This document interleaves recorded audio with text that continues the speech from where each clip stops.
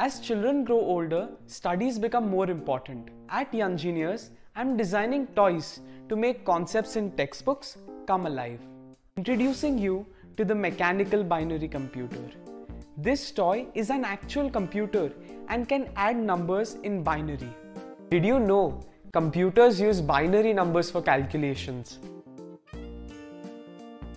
First, children can build this toy by themselves.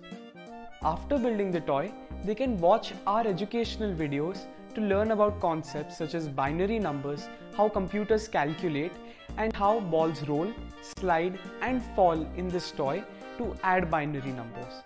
Learning this one thing ignites their curiosity for many topics and many subjects. This is an unconventional toy and it is challenging but at the right level.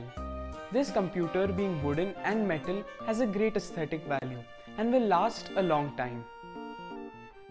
Gift this thoughtful toy to your close ones. Thank you. Keep playing, keep learning.